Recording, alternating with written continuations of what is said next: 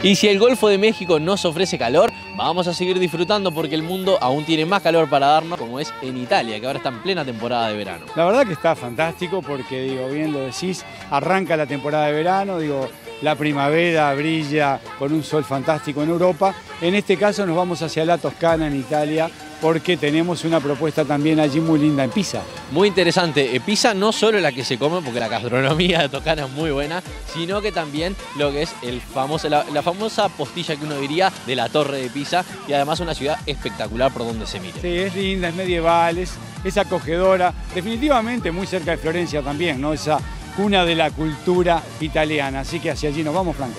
Este es el informe.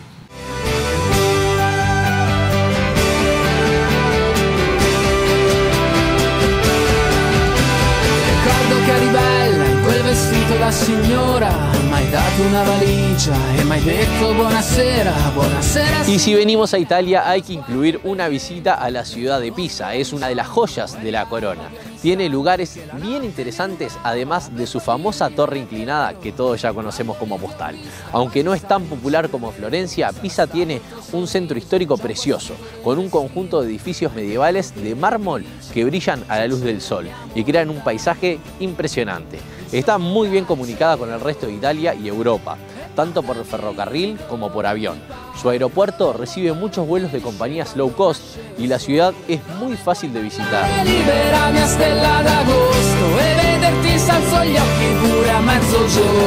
Buonasera paura La Torre de Pisa es el principal atractivo de esta ciudad que lleva su nombre sin duda. Esta torre inclinada comenzó a inclinarse desde que comenzó su construcción. En 1173 ya comenzaba a inclinarse, tiene 56 metros de altura y tiene 4 grados de inclinación, casi 4 metros. Está extendida de la vertical y tiene 8 niveles, una base de arcos ciegos con 15 columnas, 6 niveles adornados con arcas abiertas, como ustedes pueden observar de medio punto, un campanario en la cima, la escalera interna es de espiral y tiene 294 escalones. Está considerada con la catedral una de las joyas del arte romántico. Se puede visitar, cuesta 15 euros, normalmente hay fila. En alta temporada, como ustedes pueden observar, es mucha la gente que llega a este lugar. Pero vale la pena hacer un circuito con el batisterio, la catedral y la torre si usted viene aquí a esta ciudad.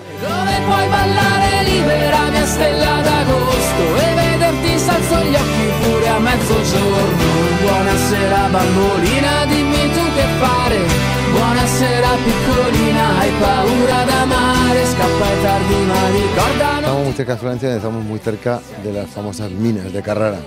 Entonces, claro, traer el material desde ahí hasta la ciudad de Pisa ha sido siempre muy cómodo. Claro, la ventaja de tener los materiales con accesibilidad. Pero uno de los problemas que tenía este lugar, que es muy bueno hoy, que es la fertilidad del suelo, en la época le generó muchos dolores de cabeza y es uno de los motivos por los cuales se desinclinaron las estructuras altas. Claro, aquí el terreno es muy pantanoso. Entonces en esa época no tuvieron en cuenta en hacer unos cimientos suficientemente resistentes o profundos. Cuando empezaban a construir, debido al peso del mármol, las estructuras se inclinaron. Bueno, el principal atractivo, estamos hablando básicamente de la plaza, donde normalmente tenemos esa imagen de la torre inclinada. Sí, estamos hablando de la Plaza de los Milagros, donde está el Duomo, que se compone de esos tres elementos, la torre, el batisterio y la nave central de la catedral, toda cerrada por una muralla que protegía en la época y es el sitio más atractivo donde todo el mundo se hace la fotito, sujetando la torre, inclinándola, empujándola. Es el sitio más típico. Partenza, direzione, cavallino.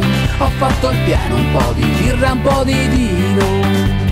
Y anche una foglietta di salame. Y otro de los detalles, ¿no? Uno observa las torres que se las encuentra en distintas ciudades medievales, tenían muchas características, obviamente la de poder, la de, la de exhibición también de la familia que la adquiría, pero también un objetivo militar. Sí, un objetivo militar porque era, una, era un punto de vigía para ver a los enemigos llegar, era un punto desde que podían tomar medidas si venían enemigos y era también la forma de avisar a la gente con las campanas.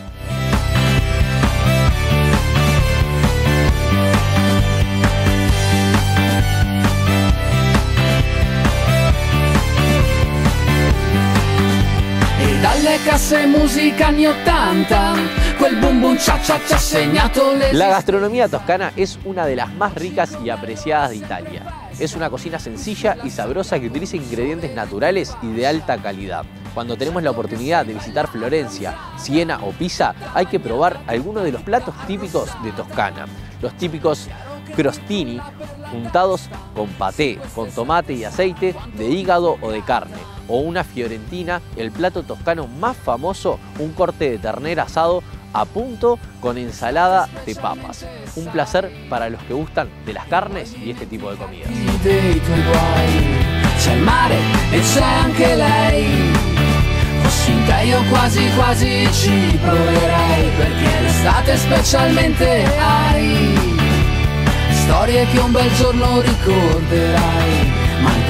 Y otro de los fuertes de esta ciudad medieval es la gastronomía, típicamente italiana. Es de muy buena calidad y es bien económica.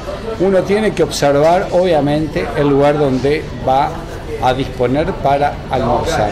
Pero la realidad es que si usted tiene esa precaución, quizá logre ahorrarse hasta un 50% del precio normal.